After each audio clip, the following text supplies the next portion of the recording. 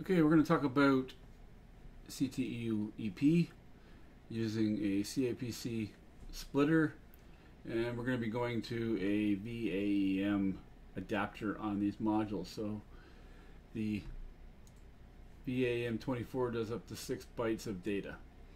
Okay, and once we've connected power to the CTEU and we have that connected to the splitter and the wiring is connected and we change the IP address of the CTEU, we log into the CTEU, and this is what we're going to look like here.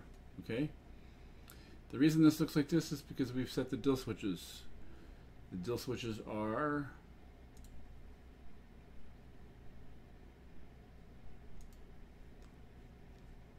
right here on the face of the module and all the top DIL 2 switches are off to the right and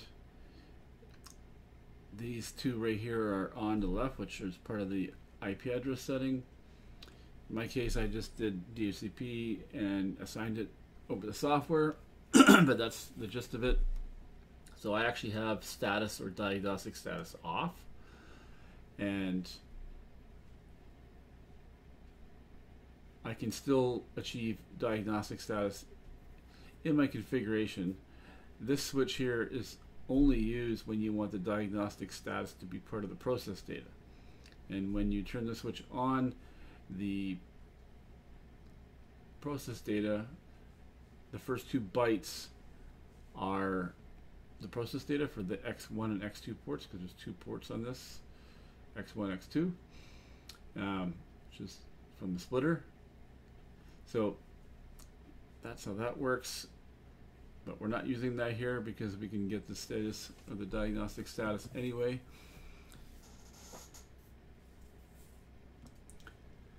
Next thing is the wiring is done like this to the port that's on the CTEU EP and let's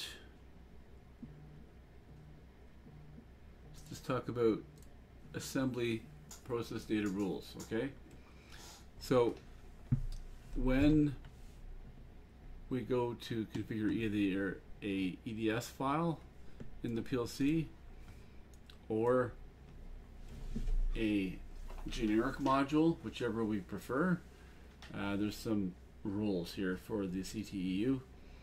Um, when we're using assembly instances 101 and 100, then we have, just to zoom in here, this is when we have to specify the exact data size.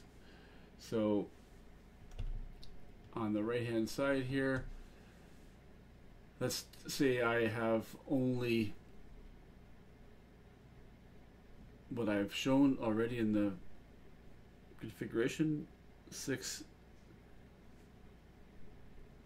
output bytes for each manifold. That would be 12 output bytes. And at the same time, we have zero inputs. So if we turn the,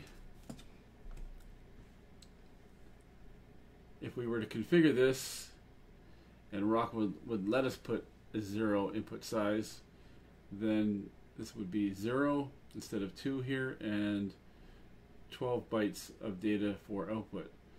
In this case, Rockwell doesn't let us put that there, so we are going to turn the DIL switch on, which we just discussed, and we would then have two bytes of input data, and we would have the configuration of two input bytes and 12 output bytes. Not like what we're showing here, but I'm just talking about the example. The next pink area here, uh, we call it in the EDS file, they call it IO connection single port or dual port, and they specify 163264. Um,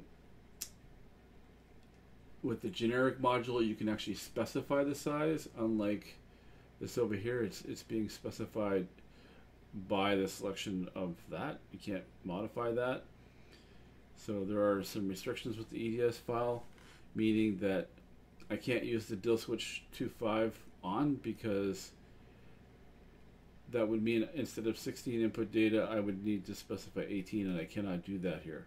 Okay, only using the generic can I specify and use that DIL 2.5 on. Okay, so the fixed assembly legs lengths are these IO config single port or dual port, and what that does is it allocates and reserves the space up to 16 bytes, up to 32 bytes, up to 64. And if you decide to change your your data type, so for example, over here, before you start to change anything in, in this here, if you want to use double integer, then these values here would be cut in half, uh, which is what the note is here. So if you're using integer, instead of it being 16 and 16, it would be 8 and 8. Um, so right here, 121. So that's that. So, and then if we want a status as a separate connection down here, we'd have to select separate connection here, and we would get our status. okay. What else? Um, and when all's done and said, in this particular application, I'm using dual port, so I'm allocating 16 input bytes, 16 output. Of course, like I told you, I only have valves connected here, which have no inputs on them. So the inputs will be not used for anything at all. Um, if I was to specify, well, that's not going to be, I'm simply using the uh, the diagnostics 2 here, which is the orange. That's the status right there. You see there's X1 status and there's X2 status. So therefore I have 16 outputs and I would have 16 inputs as well. okay, let's get into this here. In this case here I'm using the latest 2.50 firmware. This is my CTEU EP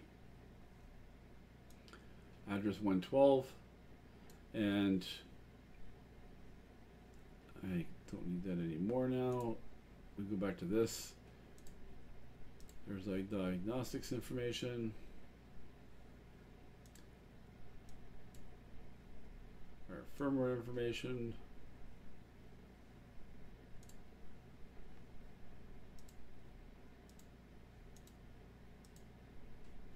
Hmm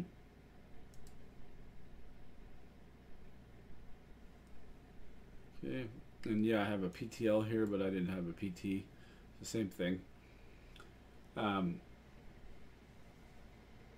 so there you go. So, okay, from a logic standpoint, if we go here, I'm using this L71 PLC here, and this card right here, which has 1103 firmware in it. The CTEU we have here.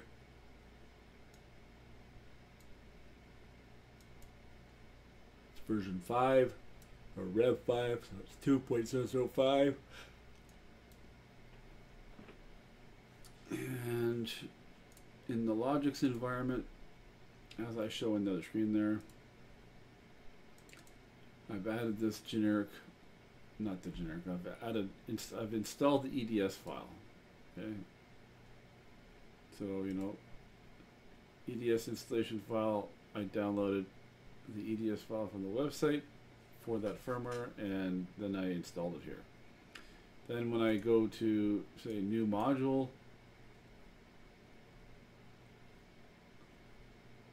And I type in CTEU, then this comes up say create.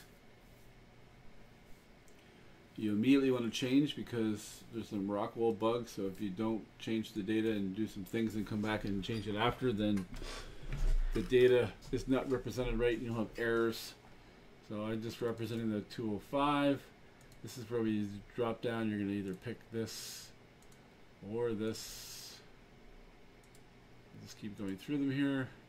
So I could put 64, but in this case I'll pick the, the dual ports, but 16 bytes per port. And then I want some diagnostics data, which automatically adds two inputs, and then we keep going. You say yes, it modifies this area right here to this, and then you keep going. So at this point, I'm going to hit cancel, close, and then when we get to this point where I'm right here, so as I showed before, we already had this same setup here, 5, and as I've already said, when you're using I.O. single port or I.O. connection dual port with whatever the number is, these are fixed assembly lengths, meaning they reserve space based upon what data size you've specified. That's all there is to this connection here. And then when you get to the connection, I've labeled this myself so that you can see where the data resides here. And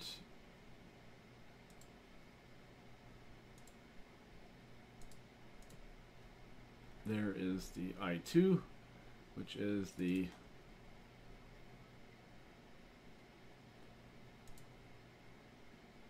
diagnostics here. So if we were to go there, so there's the I2 right there. And this is where the data lies. Again, I, I labeled this. The user manual find that, you know, if these bits are on, this is what they mean, under voltage power load, so on and so forth. And then we have our process data. So if I put these valves on right here, then the coils will turn on. And that's basically it for setting up your valves and everything like this. Um, again, keep in mind here that if I was to actually turn on the the DIL switch setting here, if I was to turn this on, the diagnostic status, then that's going to add the, where is it here? You would now have an input image here, and it would be part of the process data. And at that point, you would not be able to configure the Rockwell to be compatible with that because when you're using an EDS file, it's stuck on selecting what 1632 or 64. I would have to be able to modify this 16 to an 18 to allow that, and I cannot due to the style of the EDS file. Only in a generic EDS file can you modify that. Okay, and that's it. Nothing else